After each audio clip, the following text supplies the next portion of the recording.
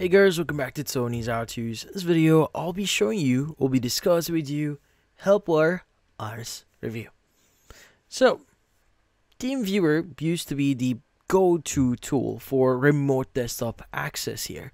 So, for years, it was powerful, reliable, and the default choice for helping someone fix a computer from afar. But things have changed. Over time, it's become packed with features most people never use, and its pricing has shifted heavily towards corporate clients.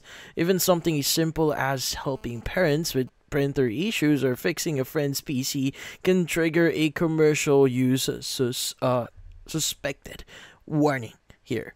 So, and suddenly the session is blocked or a paid license is pushed here. Now, if that situation sounds familiar to you, well, this is where HelpWire actually comes in.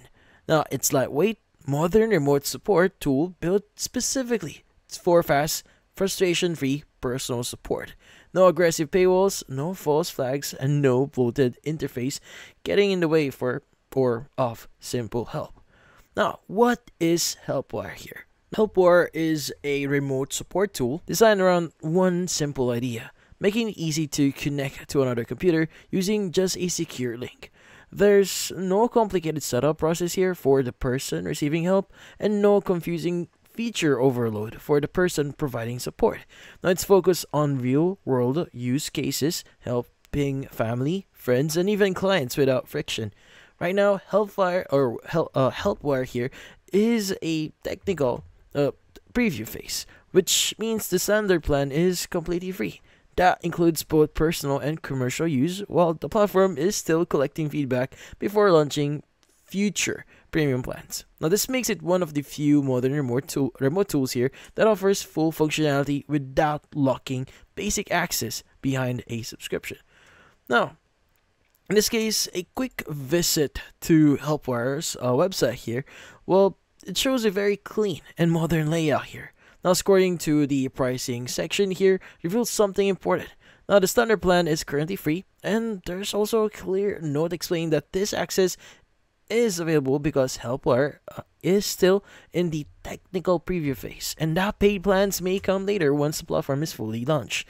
Now, the sign up process is also straightforward here. Creating, a, creating an account is quite easy, so you can actually use a Google account or you can manually create your account if you want to. So, everything is actually laid out in a way that's easy to understand, and even for someone who has never used remote support software before. Now, how does HelpWire work? And how does it actually apply to real world, real world uh, use cases here?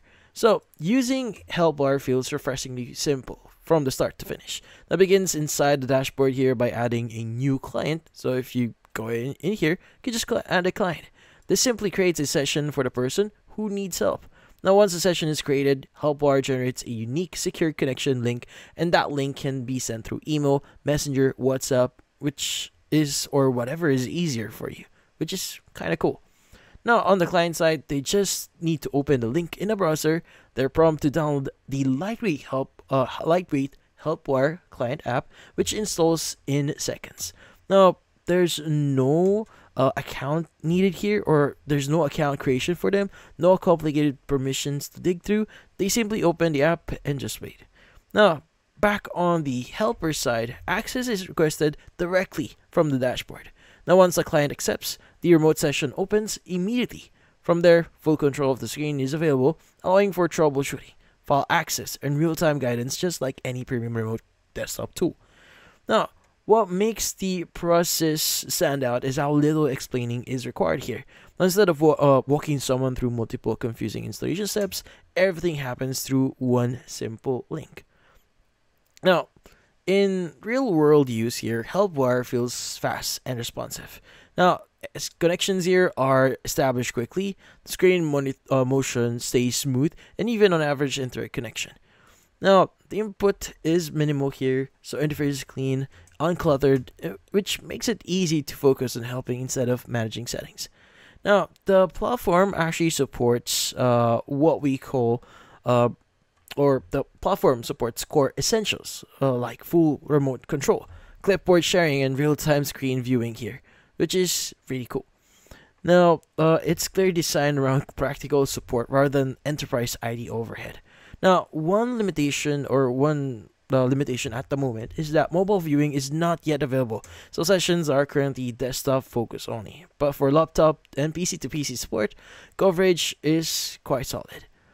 Now, in this case, uh, why HelpWire stands out?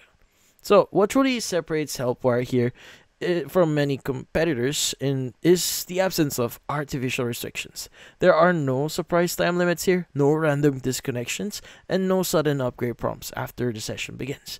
It simply works and stays out of the way. Now, for anyone who only needs tools or a tool to help people occasionally or, or even regularly without dealing with licensing stress, this approach feels like a breath or a breath of fresh air. Now, the fact that it's currently free with full functionality only adds to its appeal. Now, HelpWire, uh, HelpWire here delivers exactly what's uh, it's or what most people actually need from remote support tools. Quick connection, simple setup, stable connection, and zero frustration. That cuts away the clutter that has made older platforms feel heavy and restrictive. Now, if TeamViewer's limitations or pricing model here have become a roadblock, well, HelpWire is absolutely worth trying, especially while it remains fully free during its technical preview phase. Now, it offers clean, modern way to help others remotely without hidden barriers. Now, if you want to try it for yourself, the link is in the description. And that's about it. So for this video, before hit the like and subscribe button and watch our next video.